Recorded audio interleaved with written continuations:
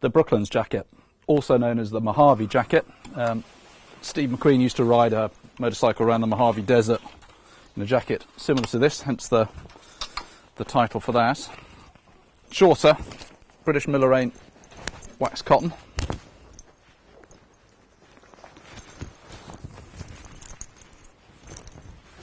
Simon's got the sand or antique beige one. I'm in a brown one.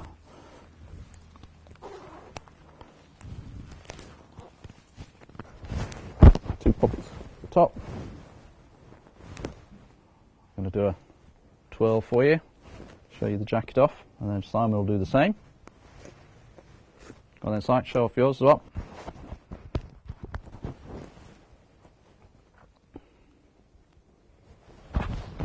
Real good, casual jacket. Good on a bike. British Millerain, wax cotton. Good weatherproofing. Long sleeves, so that uh, if you're stretching, not a problem. Now, the detail stuff on the Brooklands or Mojave jacket. British Millerain wax cotton, as we said, 10 ounce. Armour in the shoulder and on the elbow. Two patch pockets on the top, which are like that. And two slant pockets here that quite deep really, go right right down into to here, so you can get a reasonable amount in there.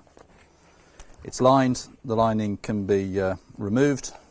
It's kind of zipper. Take it in and pop it at the bottom. No back armour on this one.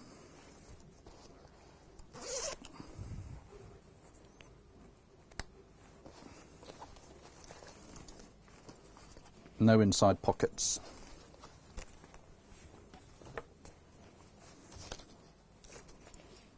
Corduroy around the around the waist and around the collar. Buckle fastening at the top. Buckle fastening at the bottom. You've got this lovely quilted, stitched, cross-stitched shoulder protection here. Added bit of padding. There's actually armour underneath that as well. Plain back. Typical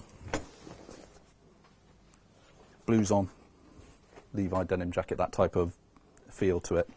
Again, the the elbows being padded as well. The Brooklands wax cotton motorcycle jacket.